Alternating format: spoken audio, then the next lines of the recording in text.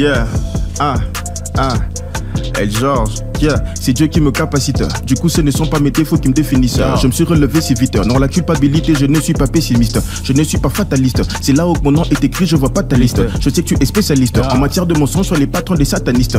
Moi, je me focalise sur la mission défiant le péché qui me brutalise. Et Jésus revitalise. Mon rap qui combat Satan et le tétanise. Mes propos se cristallisent. Je rappe sur la sainteté, mon rap est catalyseur. Pour mes gars qui réalisent qu'il vaut mieux se ranger, il est temps de faire ses valises. Moi, je suis le rappeur qui n'a pas peur, connaît par cœur la parole de mon rédempteur.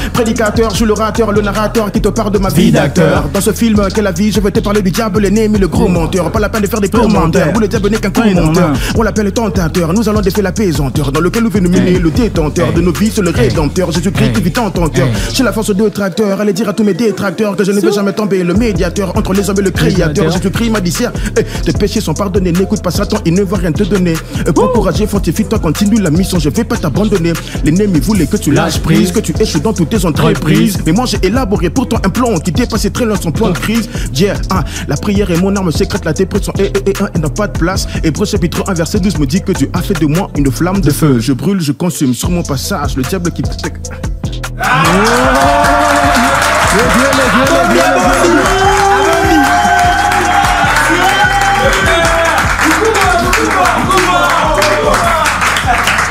Abomi, abomi. Bon, moi, moi,